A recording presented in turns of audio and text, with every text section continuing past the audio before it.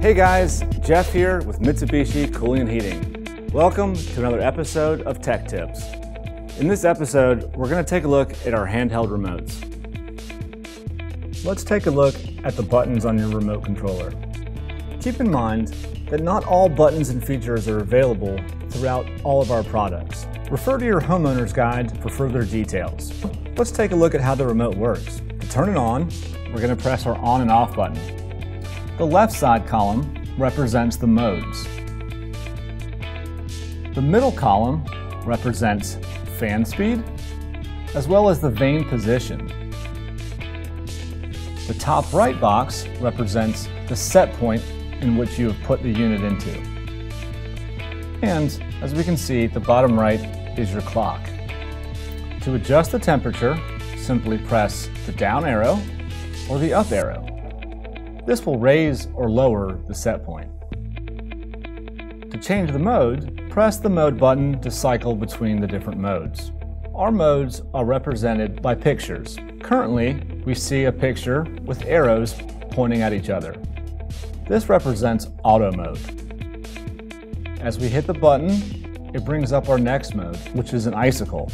The icicle represents cooling mode. If we hit the button again, a raindrop appears. The raindrop represents dry mode. And if we hit the button one more time, a sun appears. The sun represents heat mode. Now let's take a look at our fan button. The fan button is located the top middle of your button layout. What represents the fan is at the top of the middle column. As you can see, the fan right now is set into what I refer to as a whirlwind. I think of this as almost as an auto mode.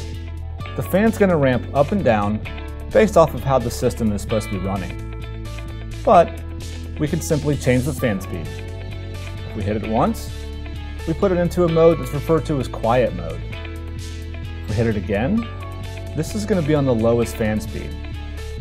Hit it one more time. This is on medium. Again, high speed. And lastly, super high. Now, one of the more commonly used buttons that I like to talk about is the vane button. The vanes can be set to either blow out and up into the room, or it can be set to blow down Right now, our vane position is set to what I refer to as the whirlwind, or an auto mode. As we hit the vane button, we can select where we want to set it at. Right now, our vane is set to blow out into the room. As we continue to hit our vane button, it lowers the vane setting. Once we've cycled through the positions where we can set our vane, we also have an option for oscillate.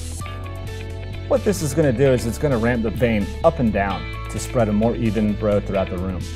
Some buttons that we haven't talked about can be found in the homeowner's guide.